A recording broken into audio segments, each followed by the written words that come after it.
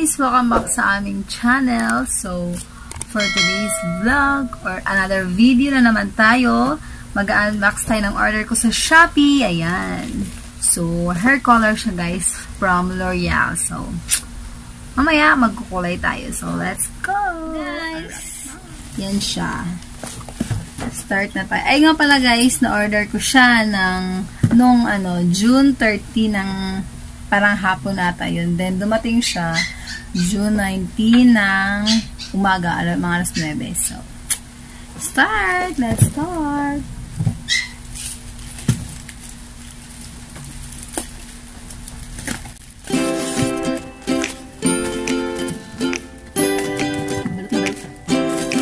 Nagtataka nga ako bakit malaki yung box eh. Malaki.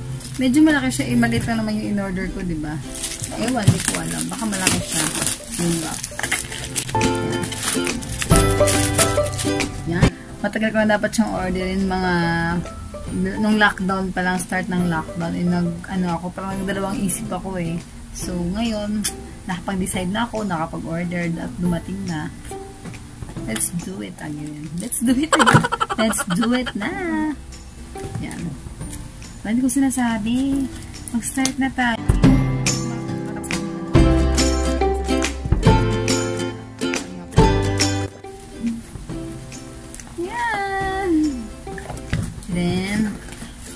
Hindi pa, hindi pa tapos guys.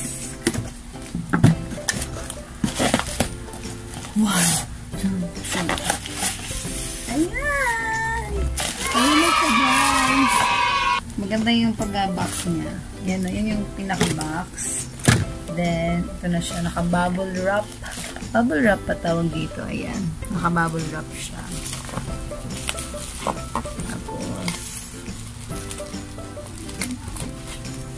Ayan! L'Oreal. L'Oreal New Excellence Fashion. Ayan, fashion.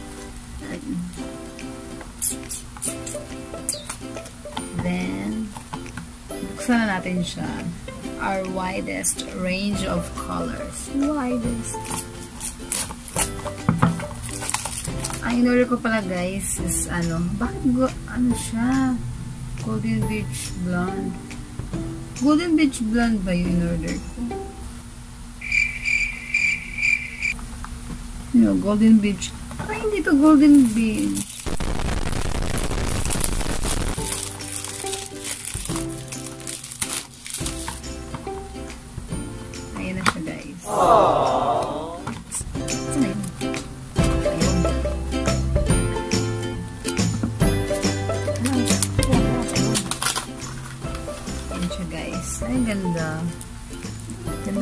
Texture niya, guys. Yun, oh. Ay! Uh, yung manual. May parang sa loob. And then, siya. Ito yung panglagay ata dito. Yan. Conditioner.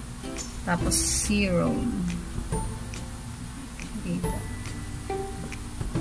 Yung suklay na panlagay dito. Please comment down below kung same lang ba siya guys. Dito golden, golden beach blonde. Pero sa in-order ko, champagne gold. So, baka lang yan. Tingnan natin kung anong maging result ng ating pagkulay ng buhok. A few moments later. So, hi guys, ayun. We're back with Polski. Ayan. So, ayan, magkukulay na tayo. Ay, wait lang. Ayan. Start na tayo guys. Siya. Tapos, ilalagyan na natin yung panghalo. Buksan mo lang.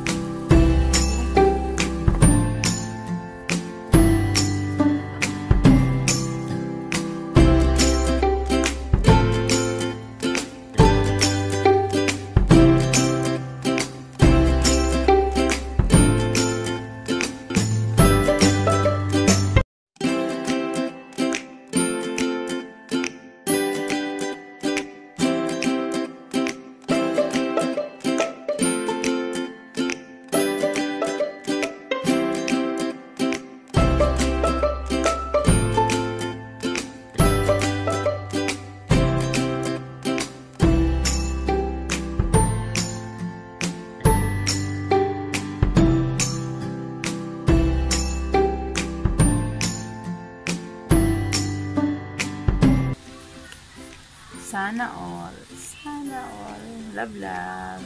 Love, love you. 君の虜になってしまえばきっと Ito yung monthly gift niya sa akin. Yung kukulayin niya ako. Kasi mansari namin kahapon. Aray! So, ngayon siya nag kulay ng aking buhok. Di ba, love? Yes. Kahapon dumating. Kahapon mansari. So, may pasok ko kahapon. Ngayon siya nagkukulay.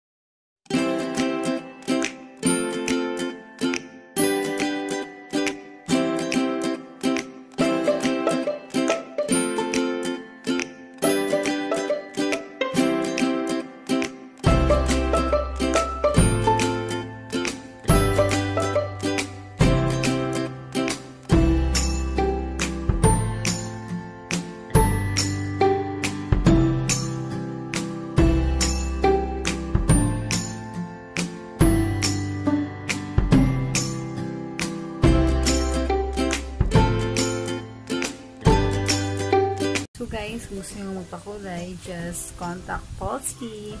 Ilagay ko sa description box ang kanyang cellphone number.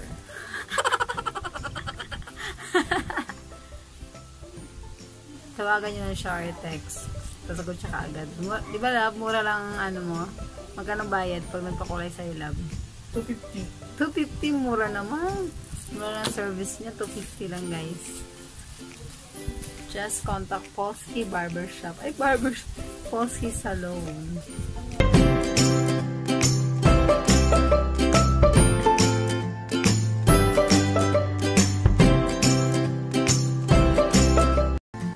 Hi guys! Tapos na magkulay si Polsky. Ayan. Done na guys. Sana magkulay. Sana mag-effect yung kulay. Yan siya dyan. Hala. Love yung kulay. Ba't dyan ang kulay na kulay? Tan na blonde. So, ano love? 30 minutes? Isang oras muna. Sige, isang oras na sabihin po. So, dito kayo ka makita. So, i-leave natin siya sa book natin ng for 1 hour or almost 1 hour lang. Yan. Medyo mainit pala siya. Siya, sobrang mainit pero medyo lang.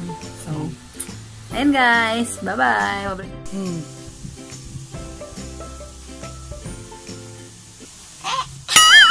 The next day. So, hi guys! I'm back. So, I'm back. So, kahapon nagkulay ng buhok and then ngayon ako ulit nakapag-video the next day kasi ginabi na tayo. So, ginabi na yung pagtuyo ng buhok. Ayun. So, final thought for this product. Final thought. O, parang nag-review na tayo guys. So, ayun. Para sa akin, 1 out of 5 sa 3. 2.5 or 3. Kahit pas para sa akin naman guys, hindi kasi na-bleach yung buhok ko. Siyempre, diniretso natin. Kaya siguro di masyadong nag, lumalabas yung kulay. Napansin ko lang. Yan siya guys. Oh. Nag, kumukulay naman siya. Yan oh. Pakita ko sa inyo sa lab. Yan siya. Kumukulay naman siya guys. Yan, dito. Kulay naman siya. Kaso nga lang, di masyadong lumabas yung Golden Beach plant, malayo siya sa result. Kasi nga, hindi tayo nakapag-bleach. Saka isa lang nagamit natin na kulay. Siguro pag dalawa, mas marami pa ang mga kulay na yun. Oh. Yan. Pero malambot siya sa buhok. Ayan o, oh, sobrang lambot. Kasi may kasama siyang protective conditioner. Tsaka, ang kaibahan niya, pag nagpakulay ka kasi sa salon, syempre, or parlor, medyo masakit sa akin naman, may kirot na ang konti nung tapos na magkulay. Medyo nainitan ako. Pero hindi katulad ng magpakulay ka sa salon na medyo mas harsh yung sakit niya sa ulo. Parang mainit, parang ganun. Tsaka malambot siya. Yan. So guys, i-insert ko na yung picture ng after dito. Dito or dito banda. Dito, dito.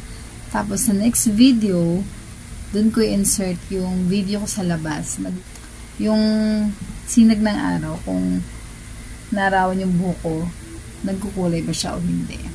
Pero, nakita ko naman sa picture, pag naarawan siya, okay siya guys. Pero pag sa loob ka ng bahay, katulad dito, hindi masyado. Pero pag naalawan, tsaka malakas yung ilaw, ayun, lumalabas. Lumalabas yung kulay na, parang naging dark blonde. Parang ganun. Ayun. So, ayun guys, sana magustuhan nyo ang aming vlog for today. Please like and subscribe down below. Bye-bye! Thank you for watching.